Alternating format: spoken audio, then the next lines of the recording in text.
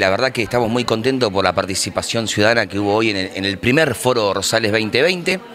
Eh, más o menos alrededor entre hubo participación más temprano, bueno, algunos se han tenido que ir por distintas eh, situaciones personales, pero después se, ha vuelto, han vuelto a venir otros vecinos, más o menos tenemos un número entre 90 y 100 personas, que para hacer el primer foro no, estamos muy, muy contentos y orgullosos de, poder hacer esa participación en el, en el distrito en donde también hay representantes de instituciones, ¿no? De, centros de jubilados, de instituciones de la cultura, del deporte, de búsqueda y rescate, eh, eh, organizaciones sociales que están en los barrios, bueno,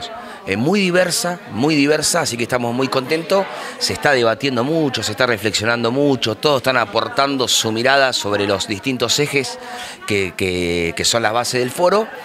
Así que bueno, eh, la verdad que estamos a un ratito que falta para, hacer el, cierre de, lo que es el primer foro, eh, donde bueno, después vamos a sistematizar todo lo que, lo, que se trató hoy.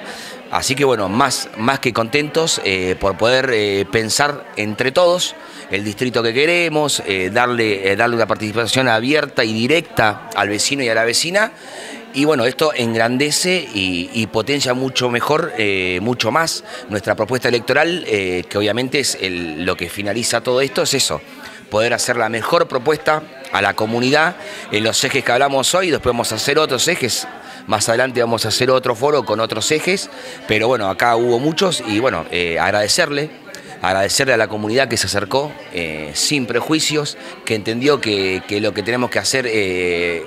tiene como base la diversidad, el pensar, el pensar distinto y el llegar a una síntesis entre todos los que pensamos distinto, pero que queremos un distrito pujante, que genere trabajo, que, tenga, una, que tenga contención social, que haya un Estado presente y que incluya a toda la comunidad, no solamente a pequeños sectores. bueno, así que bueno, yo creo que este es el puntapié inicial a muchos foros más que se van a hacer de acá en adelante, ¿no? ¿Algún eje en particular que haya tenido más asistencia, niñez, adolescencia, tercera edad, salud, cultura? Bueno, en, lo que hace, el que más participación hubo fluida y que cambiaron fue, cultura,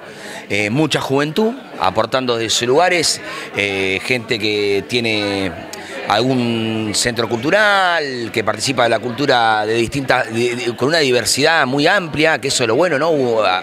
lo hay ahora, hay un debate muy enriquecedor en esa área, eh, también en lo que es economía, ¿no? En lo que es economía, bueno, hay productores rurales de Villarias, eh, de Bajondo, digamos, muy, muy diverso, miradas distintas, hablar de en lo que es eh, sociocomunitario también,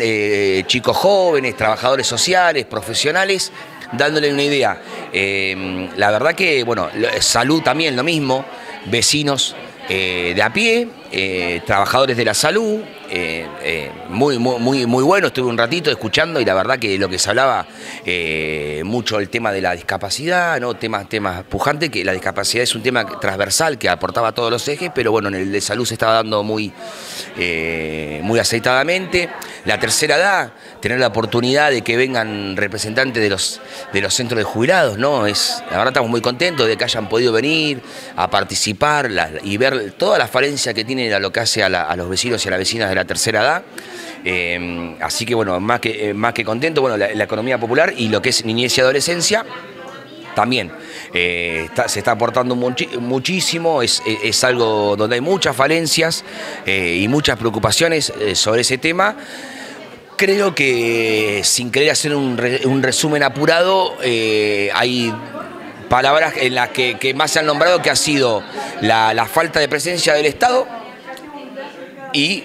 que va de la mano de tener, eh, digamos, eh, que nos sintamos incluidos dentro de lo que es las políticas de Estado, ¿no? Pero la política de Estado, o sea, todos los gobiernos tienen que ir llevando herramientas como política de Estado y, lo que está bien y lo que la ciudadanía acepta como que es positivo, se tiene que mantener en el tiempo. Bueno,